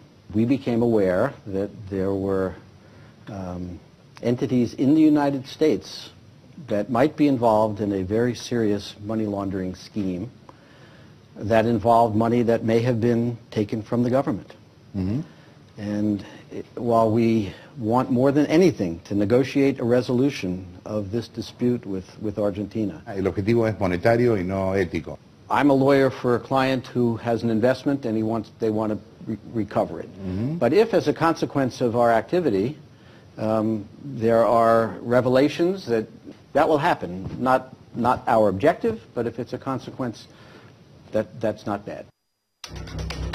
Ahí lo tenías a, Cohen. También había tweets puteando en ese momento por parte de todo el aparato de propaganda del gobierno. Eh, un arroba Gabriel Diego decía, esto fue hacer la nata a Estados Unidos, bancado por fondos buitres. Este prócer del periodismo opera por donde puede para que nos ganen. Bien, eh, a principios de septiembre te mostramos otra historia que pegó mucho en la gente porque era realmente muy fuerte y también pegó en nosotros al punto que viajamos dos veces al lugar para profundizarla. Una escuela sin paredes ni lápices en Formosa. La provincia feudal que gobierna Gildo Infran desde hace 19 años. Gildo Infran es como el Stroessner de Formosa y ha estado con todos los gobiernos. Bueno, escuela sin paredes. Mirá lo que es esto. Esto es una escuela en la provincia de Formosa, Argentina. y el maestro bilingüe de aquel le enseña todo el día. No importa frío, calor, llueve, igual él le enseña acá a esta escuela. Ponele este yacaré. Yo cuando se- te enseño a los chicos, pienso de que estos chicos que no, que no sean como yo, que tengo menos capacitación. Yo quiero que los chicos que yo enseño tengan más capacitación. La cosa sale bien. Claro, mintió, mintió, mintió. totalmente. Nosotros- Ustedes vienen a aprovechar los indígenas. Ustedes, te doy tres minutos. Si ustedes nos quieren retirar, nosotros vamos a secuestrar la camioneta. ¿sí? La camioneta tiene que quedar acá. Viene a sacar sin permiso, saca fotos mostrando el foto. Ustedes sacan millones de plata porque la. Después de lo que había pasado el jueves con el equipo de PPT, sabíamos que el punto más conflictivo en el camino era atravesar el potrillo. ¿Grabando? Ahí está. Vamos a grabar nosotros también, chicos. Y en ese lugar intentaron hacerlo otra vez, cuando otra 4x4 blanca se nos puso a la par. Estamos comprobando lo que están haciendo ustedes. En su mayoría eran los mismos militantes y punteros políticos de las comunidades Huichí que habían actuado antes y que responden al diputado provincial de Gildo Infran, Roberto Vizcaíno.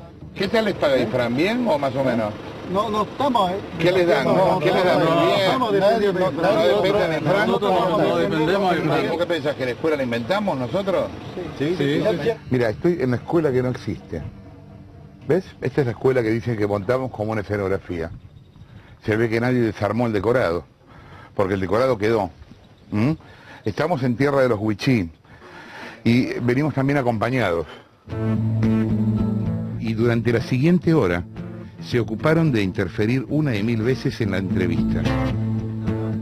Por lo Porque que vemos, ustedes vienen a traer solución o trae para, el- para que nosotros tenemos problemas entre nosotros. ¿a usted le parece que ustedes están mal, están mal por mi culpa? No te van a dar, Jorge, la nata. Eso, eso te va a dar el Estado.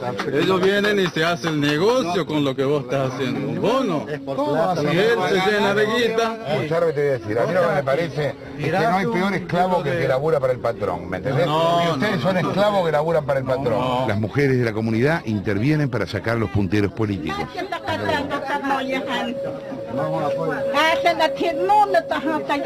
¿Esta escuela existe o es un decorado? la demostración cabal de, de- de- de las miserias humanas, fundamentalmente en una provincia que destina tantos recursos fundamentalmente en los agujeros negros de la corrupción. Sí, bueno, recién veíamos ahí a... Recién... Yo lo, lo que le pido a todo el mundo es que si vamos a hablar, ustedes nos respeten y nos dejen hablar. ¿Vivís así esto todos los días en Formosa? Sí, lamentablemente esta es la consecuencia del modelo. ¿Cuántos, ¿Cuántos de los que están acá tienen un trabajo remunerado mensual? Hay gente que tienen trabajo y no tienen título, como aquel, Eliseo, Porque mantenido por el gobierno. Él trabaja para el gobierno. No, yo trabajo para el partido, pero no recibo sueldo. Eso es lo que quiero. ¿Y de qué vivís? ¿Eh? De mis changas. Mentira. Fíjate que nadie Perdón, tiene ¿La trabajo. 4x4 la compraste como albañil? No, esa era... Ahora de tu suegro. El contraste insólito entre la miseria que estaba a la vista y el relato ideal que los hombres de Infran intentaban imponer. La división gigante entre los militantes pagos y los hombres y mujeres que viven en los ranchos del Monte Ralo.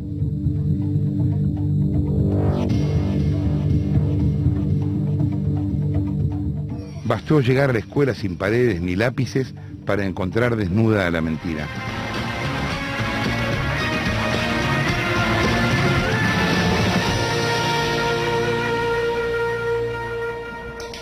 Sea, es que es increíble porque si hay algo que tiene de bueno la televisión, que en muchas cosas es una porquería en sí misma, pero en otras cosas es muy buena, es que te muestra lo que, lo que ves, te lo muestra, es incontrastable. ¿Cómo haces para desmentir la escuela sin paredes?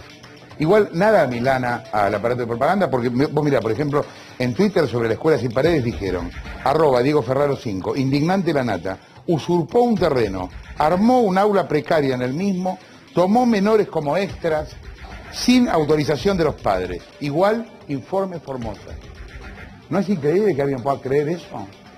Que nosotros armamos esto, que los nenes son extras, los indios también, eran todos americanos que hacían de indios. Los fuimos a buscar a Los Ángeles. Después se sacaron la máscara, eran todos rubios, de ojos celestes. La estupidez es realmente infinita, infinita. Eh, las reacciones oficiales con eso. Escuchá lo que me dijeron. Estamos construyendo la nueva Formosa. 1054 escuelas. Señora Presidenta, con estos datos, ¿le parece a usted que no seremos capaces de hacer tres escuelas? Tres escuelas. Reflexionemos. Reflexionemos. Miren menos a la nata. Eso fue armado. ¿Usted se imagina la violencia de esa comunidad huichí que quería hablar y explicar esto en el programa de la Nata y la Nata no le dio la palabra? Y esas camionetas 4x4, sí, si la gente por ahí viene alguien de Europa, un filántropo de esos que tampoco hace mucha averiguación, y ve y, ve y le regala una camioneta. A los pocos, te digo, que le durará una Hilux 0 kilómetros, cuatro meses cuando mucho. No más.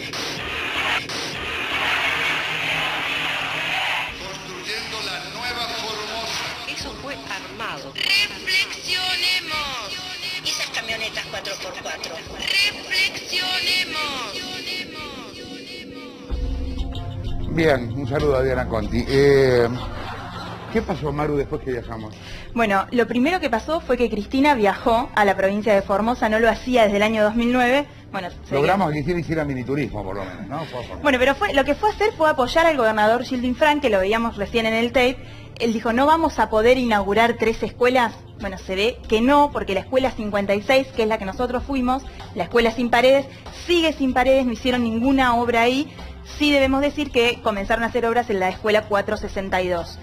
En la 56, la escuela sin paredes, ahí estaba como profesor el MEMA, ¿te acordás que también lo veíamos? Epifanio Alfonso. Bueno, Epifanio en septiembre cobró su último salario. Después que nosotros estuvimos, fue gente del Ministerio de Educación de la provincia a buscarlo para llevarlo a la capital, a Formosa, y que desmintiera en los medios oficiales lo que nos había contado a nosotros. El maestro dijo que no, le iniciaron un sumario administrativo por... Sí, iniciaron un, un sumario administrativo por abandono del cargo, porque te acordás que el primero estaba en una escuela en el Potrillo, sí. bueno, ahora por intervención del senador Luis Naidenov, que estaban, que lo veíamos también en el TEC, le pusieron una abogada de la APDH que se va a encargar un poco de- del de asunto. él. Exactamente. Una cosita más. Para mostrar qué es Formosa, cómo, cuán grande es el feudo de Gildo Frank que está en el gobierno hace 19 años consecutivos. La semana pasada viajó ahí a firmar un convenio justamente con Naidenov, un acuerdo eh, en Formosa, Sergio Massa. Con él viajó Marcela la Tigresa Acuña, que eh, es concejal por el Frente Renovador. Para hospedarse en Formosa tuvo que dar una identidad falsa, el nombre de una amiga, porque en los hoteles de la capital no le querían alquilar una habitación, porque... Por Massa. por- claro, por miedo a represalia. Bueno, eh, a Macri le pasó eso también. Bueno, cuando nos- siendo, eh, le prohibieron dar una conferencia de prensa en un hotel y una conferencia de prensa en el aeropuerto. Jorge, De terminaron un en la partido calle. político legal, el tipo es gobernador de Buenos Aires, un delirio. Y dando la- terminaron dándolo en la calle. Eh, Fue paralelo al momento que estuvimos Nosotros estábamos ahí y nos encontramos de Sí. hecho con ellos en el Sí, aeropuerto. sí, a Massa le pasó lo mismo. Sí, increíble. Pues, Lo, lo que uno quiere decir cuando habla de feudo, ¿eh? esa es la mejor definición de feudo. Bueno, en el primer programa del año no empezamos con un tema político, empezamos con un tema que es político en el fondo, pero que tiene una gran repercusión social, los narcos. Y se está empezando a hablar de Argentina con el tema narco. Hay acá una cámara de la gente de la televisión francesa que una de las preguntas que me, que me hacían era esa, ¿qué está pasando con los narcos en Argentina? El domingo 13 de abril te mostrábamos cómo se instaló el fenómeno narco en Argentina. Que no es nuevo, no era nuevo, no es que lo inventaron los K, yo diría lo consolidaron los K. El lavado de dinero empezó en la época de Menem. Los acuerdos secretos con Colombia, por ejemplo, en esa época, en la de Menem, vinieron acá con otros documentos, la viuda de Escobar Gaviria, el hijo, etcétera. Pero los cárteles y la actuación económica efectiva de los cárteles mexicanos, peruanos y en Rosario, cárteles locales que refieren a ellos, empezó en esta década, en la década robada, no antes. Se consolidaron ahora. Eh, eh, lo que hicimos en Rosario fue incluso en algún punto hasta arriesgado, porque nos encontramos con dos sicarios. Ahí tenés la nota.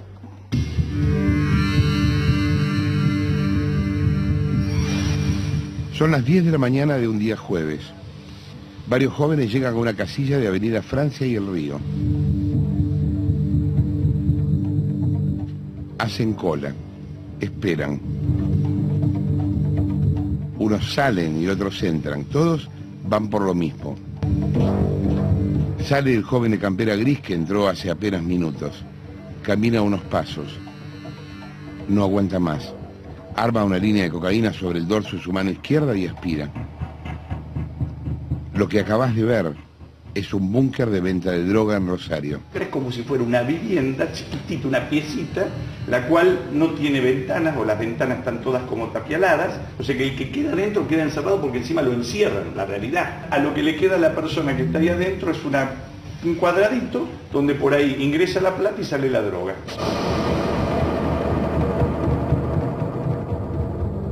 No está en un barrio marginal, alejado o pobre, para nada. Está ubicado en la zona más rica de la ciudad, la que floreció con el boom sojero. El Puerto Madero rosarino. La escena se repite una y otra vez a la luz del día.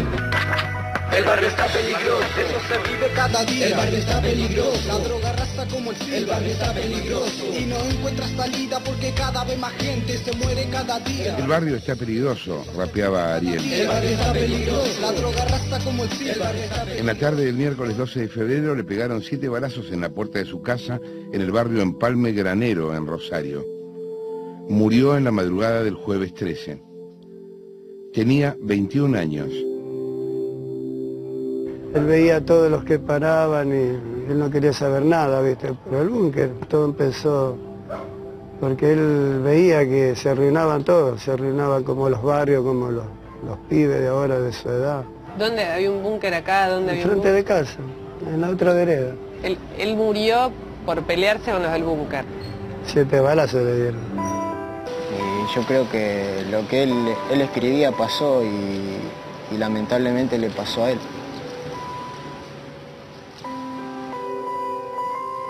Hoy quizás sea el día más triste de mi vida, amigo del alma. Te preguntarás por qué te escribo esta carta. Por una simple razón. Quiero darte las gracias por haberme brindado tu amistad, también por dejarme compartir estos años de música al lado tuyo, por ser un buen compañero. El cielo hoy se puso gris, gotas de lluvia caen al igual que lágrimas en mis ojos, viéndote acostado en ese cajón sin poderte despertar para darte una despedida mejor y no lágrimas en tu pecho. Hoy tengo que decirte que te extraño tanto, amigo, pero tanto, que me expreso así, eh. Yo.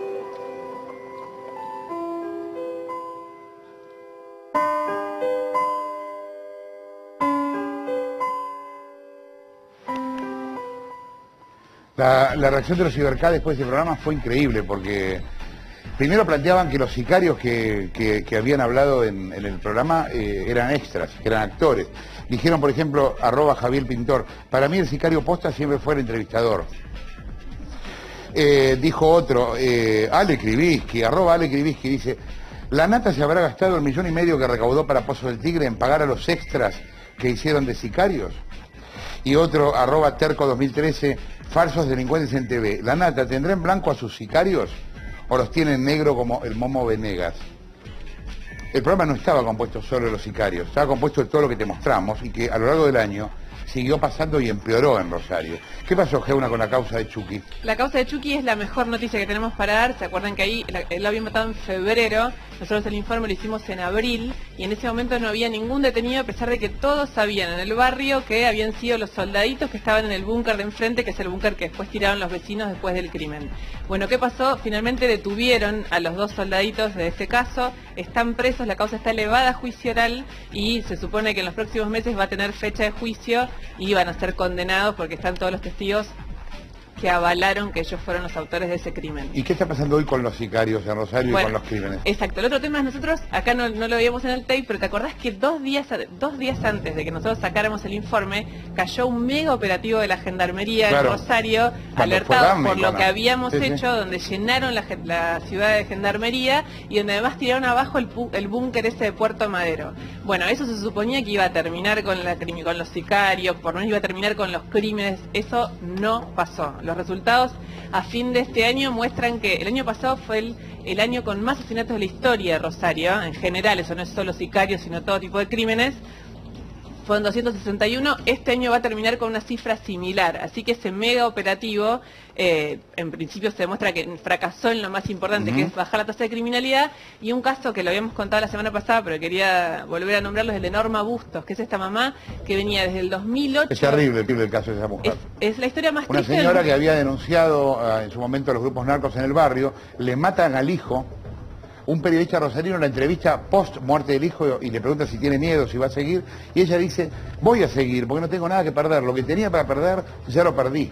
Y después la matan Era, a ella. era su único hijo, ella pierde a su padre después de la muerte de su hijo y a su marido que también enferma y se termina muriendo. Queda completamente sola en el mismo kiosco del barrio La Tablada en Rosario y la ejecutan de tres disparos, nada menos que un grupo de sicarios. O sea, no la ejecutaron al pasar, no fue una cosa y hoy, 10 días después del crimen, no hay ni un solo detenido todavía por el crimen de Norma Bustos. Hay un montón de gente muerta, pero los sicarios son actores, ¿no? Son extras. Eh, el el, año pasado, perdón, eh, cuando empezamos nuestro programa en Radio Mitre, eh, hicimos una nota con la primera persona que se animó a hablar del caso Vudú, que se transformó en uno de los casos más importantes de la Argentina en los últimos dos años, porque bueno, es el vicepresidente. En ese momento quien habló fue la ex mujer del testaferro de Vudú, de Alejandro Van der Brule, de, eh, se llama Laura Muñoz, y fue quien empezó que, eh, eh, la denuncia, la investigación. A partir de ahí el caso Vudú se fue creciendo con el tiempo y en la segunda semana de junio de este año encontramos al que en ese momento era el tipo más buscado del país, otro de los testaferros de Vudú, José María Nariga Núñez Carmona, el socio de Vudú, el socio blanco de Vudú. Se había escondido en Uruguay para no tener que declarar en la causa Chicone y lo encontró Rodrigo Alegre en el Hotel Conrad. Mira, Núñez Carmona. Rodrigo Alegre, ¿cómo le va? Hablamos hoy, ¿se acuerda? Vine acá justamente para hablar con usted, se le cayó el teléfono. ¿Me puede pensar dos palabras? Negoció en nombre de... Quiero saber si negoció en nombre de... Por favor, hablamos la semana que viene. Pero si estamos acá, Apagate, vine solamente... Vinimos solamente acá.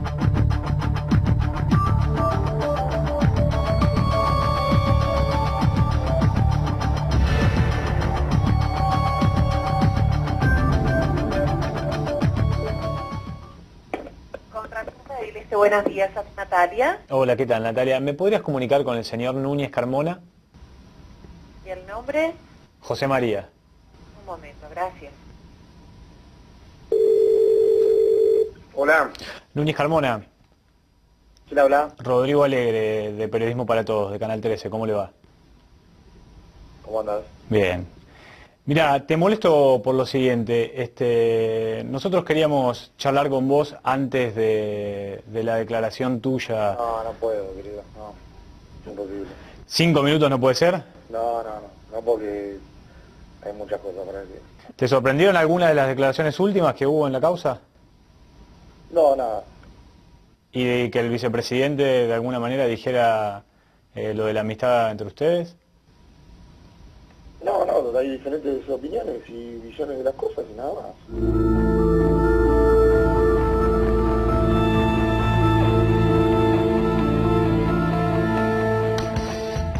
es increíble, pero a esta altura del partido y después de dos años de denunciado Vudú, Vudú tiene tres procesamientos en dos causas distintas. Tiene dos procesa- procesamientos de la justicia en Chicone y uno en un delito berreta que da vergüenza ajena contarlo, que es que le robó el auto a la exmujer. ¿Mm? En el medio de la separación se quedó él con un auto que era de la mujer. Eso es el vicepresidente de la Argentina. Lo increíble con esto, que este señor es el presidente que está cuando Cristina viaja. Es la persona que está a cargo del país. Tiene tres procesamientos. Nunca se le cruzó por la cabeza renunciar, aun cuando el Congreso lo pide todo el tiempo. Y lo que es todavía más increíble es que Cristina, que habla de todo y tuitea sobre todo, todo el tiempo, no pronunció la palabra vudú en los últimos dos años no dijo absolutamente nada, ni siquiera dijo es mentira, es un complot, nos acusó a nosotros, no dijo nada. Es como si el tema vudú no existiera, Nico. Sí, es así. Los dos procesamientos son en Chicone por eh, cohecho y negociaciones incompatibles con la función pública y el otro eh, por falsificar. Mira, estamos recontrapasados y mira todo lo que quedó afuera. Cascos azules en Haití. Te mostramos este año que eh, la gente de Cascos Azules no tenía chalecos y no tenía balas para defenderse en Haití. Te hablamos del barrio que mata. En Moreno hubo 22 chicos en un año y medio, 22 chicos, muchos de ellos del mismo colegio, muertos por enfrentamientos entre banditas. En ese, en ese lugar en Moreno vendían balas en los kioscos. Te contamos eso también. Te mostramos a uno de los testaferros de, de Jaime, de Ricardo Jaime, el secretario de Transporte, responsable de la muerte de 11. Bueno, tenía un testaferro que laburaba en un garage y al que le pagaba 200 pesos, había puesto un auto a su nombre. Te mostramos lo que es Argentina sin gas, cuando hay una garrafa social que es más cara que el gas de red, es increíble, pero es así. Y que no se consigue en Jujuy o en Catamarca, mandamos gente ahí. Y te mostramos también varios casos de hambre en los comedores escolares. Chicos que reciben dos comidas por 3 pesos con 50 por día. Dos comidas, 3 pesos con 50 por día por chico. Bueno, tuvimos un año impresionante, se viene un año heavy seguro.